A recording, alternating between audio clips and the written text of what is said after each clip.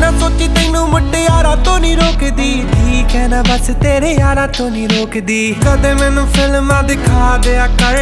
ਕਦੇ ਕਦੇ ਮੈਨੂੰ ਵੀ ਕਮਾ ਲਿਆ